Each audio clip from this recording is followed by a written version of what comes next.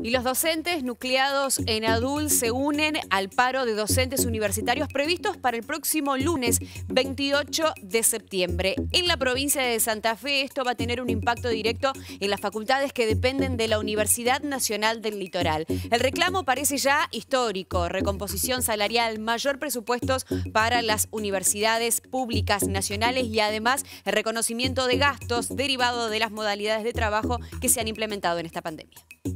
Nosotros llevamos la medida de fuerza por dos aspectos fundamentales, salario condiciones de trabajo y reconocimiento de gastos por la virtualización que llevamos todos estos meses sosteniendo la universidad pública desde nuestros hogares, con nuestros equipos, con nuestras computadoras, con nuestra conectividad. Tenemos también una situación de crisis de la obra social y una crisis del presupuesto universitario. O sea que todo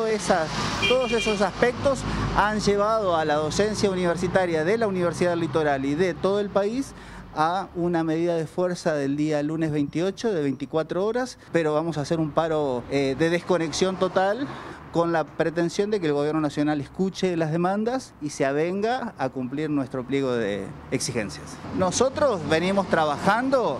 con una sobreexigencia enorme desde el primer día que se dictó la norma nacional que eh, desobligaba las clases presenciales, pero todos